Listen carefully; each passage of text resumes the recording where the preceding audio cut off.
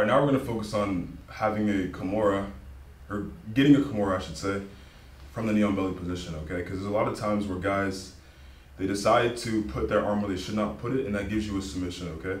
Because the knee on belly is a very uncomfortable position, and from there it opens the, it opens the person up to want to relieve that pressure. When they do that in certain ways, it gives you opportunities to submit that person.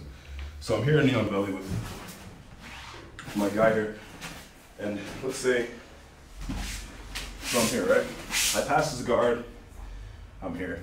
A lot of guys, they don't like this knee on their belly, right? So what they do is they decide to put the knee, their arm on the knee here, okay? Now from here, I have a submission I can go for. All I wanna do is I wanna grab with my right arm, his arm. I wanna cup right by his tricep here, okay? And I wanna pull him toward, towards me. Now I'm gonna drop my knee behind his head, here, okay? Now I'm gonna switch, okay?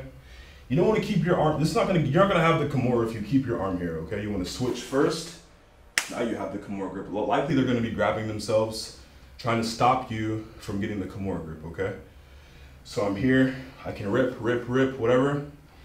But really, one one of the best ways to to break this grip is actually very strong. What he has here. Okay. Now the mistake a lot of guys make is they focus. Is all they do is they keep their both knees on the mat to try and keep control. But in reality the control comes from this, okay?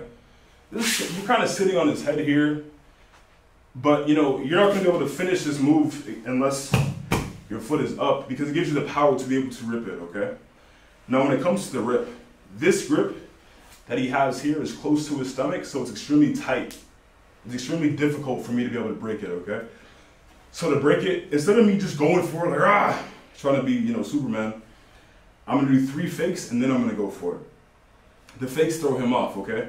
So if I'm here, I go one, two, three, and then I rip, okay? And I rip up. What you don't want to do is you don't want to rip it towards the towards the submission, okay? It's going to be difficult for you to finish it. The further it is from his stomach, the easier it is to break the grip, okay?